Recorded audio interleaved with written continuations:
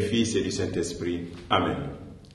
Bien-aimés dans le Christ, nous sommes aujourd'hui lundi 2 euh, décembre. Et la parole de Dieu que notre mère Église nous propose est extraite de l'évangile de Matthieu chapitre 8 versets 5 à 11. Jésus était entré à Capharnaüm.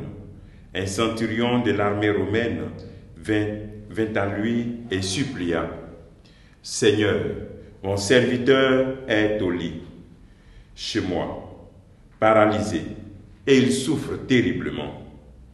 Jésus lui dit, Je vais aller le guérir. Le centurion reprit, Seigneur, je ne suis pas digne que tu entres sous mon toit, mais dis seulement une parole et mon serviteur sera guéri. Ainsi, moi qui suis soumis à une autorité, j'ai des soldats sous mes ordres. Je dis à l'un, va, et il va. À un autre, viens, et il vient. Et à mon esclave, fais ceci, et il le fait. À ces mots, Jésus fut dans l'admiration et dit à ceux qui le suivaient, Amen, je vous le déclare, chez personne en Israël, je n'ai trouvé une telle foi aussi. Je vous le dis, beaucoup viendront.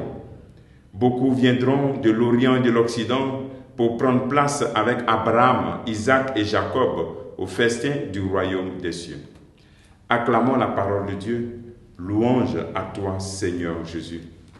Bien-aimés dans le Christ, dans ce passage, nous voyons Jésus qui est interpellé par un centurion qui se préoccupe de son serviteur malade, paralysé.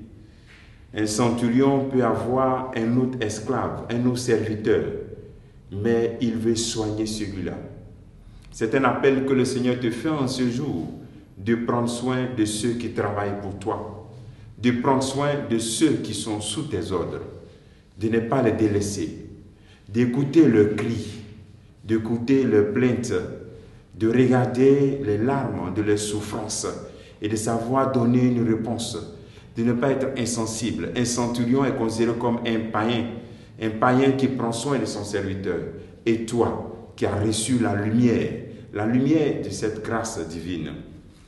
Un deuxième nouveau, le Seigneur dit cette parole lorsque le centurion Marc démontre vraiment cette foi en Dieu.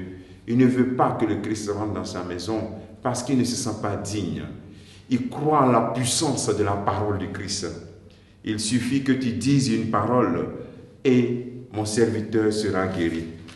Aujourd'hui, tu pourrais te demander à toi aussi, combien de paroles ont été dites sur ta vie? Combien de paroles le Christ a prononcées sur ta vie? Combien de paroles que tu as écoutées et tu te rends compte que cette parole est conforme à ta réalité de vie? Mais est-ce que tu en as fait cas? La parole du Christ est capable de guérir.